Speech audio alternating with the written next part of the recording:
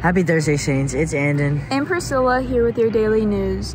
Today is wear your favorite album or artist attire. Also, don't forget to wear purple and yellow tomorrow to get ready for HOCO. Is UCLA on your college list? Then come hear from our rep about all things Bruins. Sign up now and you'll receive a call slip to this October event. Maybe you're a Trojans fan instead. Well, we've got you covered. Sign up to hear from our USC admissions rep on October 16th. Use this link or find a flyer in the Media Center, Miss Kohler's office, or on the bulletin board near the quad. Today is our homecoming game and rally. We can't wait to see you there. Tomorrow is a minimum day in our homecoming parade in downtown San Dimas at 3.30. Hey Saints! The Spanish National Honor Society is selling two tacos and horchata for Taco Tuesday next week. You can buy it all this week for $5 in the finance office or you can buy it the day of for $6. So don't just talk about it.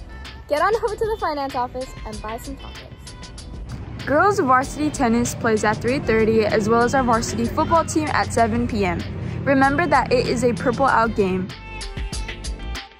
Good luck to our Saints. That's all we have for you today, Saints. It's Priscilla. And Andon signing, signing off.